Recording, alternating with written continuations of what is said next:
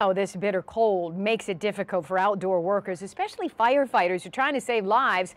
After three house fires this morning, we caught up with one of Detroit's bravest, the now Sima Chowdhury. Got a chance to speak with her. And Sima, it's a, a lot harder fighting fires in these extreme cold temperatures, right? That's right. I asked which what's worse, the summer or the winter. And in the summertime, this firefighter said that you have to worry about heat strokes. But in the winter, yeah, you have to worry about yourself, but you also have to worry about a lot of other factors. Like, for example, when firefighters were battling this blaze this early morning, they had issues with frozen fire hydrants and frozen lines, and that can slow them down during crucial moments. Winter makes it difficult. The brave brave the cold. Trinice Tolliver has been a Detroit firefighter for almost 18 years. You know it's Michigan, so we can have be hot one day and then freezing the next. Today, she and other firefighters battled a house fire and battled the cold temperatures. The line being frozen, you have to, you know, worry about that.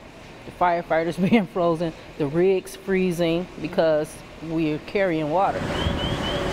Two homes went up in flames on Hazelwood Street near Rosa Parks Boulevard overnight. During this bitter blast, ice forms everywhere. Icicles start to form on your face, your tears are frozen. Trinice says when she's first to a scene, she doesn't think about the cold. Your adrenaline is going, and I'll get out and check the hydrant, and I'm running around and everything.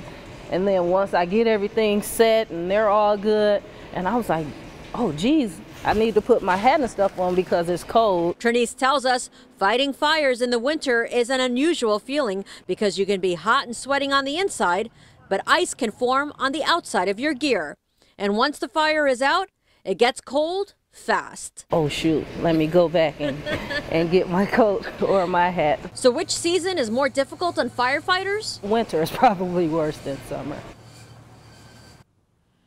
And Trinice says it's a great opportunity to talk about respecting the fire hydrants here. You can see this one is out of service. She says that when people play around with them in the summer, turn them on on hot days, that ends up giving them problems during these winter times and winter months. And reminder to make sure you shovel around it so firefighters can access it during a crucial fire.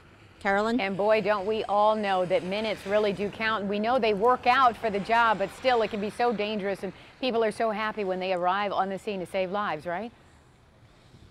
Of course, Carolyn, that's right. And that's why they just say out there, you know, make sure you clear the fire hydrants, make sure you help firefighters be able to do their jobs, whether it's an abandoned home or an occupied home. Either way, they take these things very, very seriously, and they definitely need the community's help. Yes, indeed. We thank them for their service. Thank you so much, Simon, for that live report. And we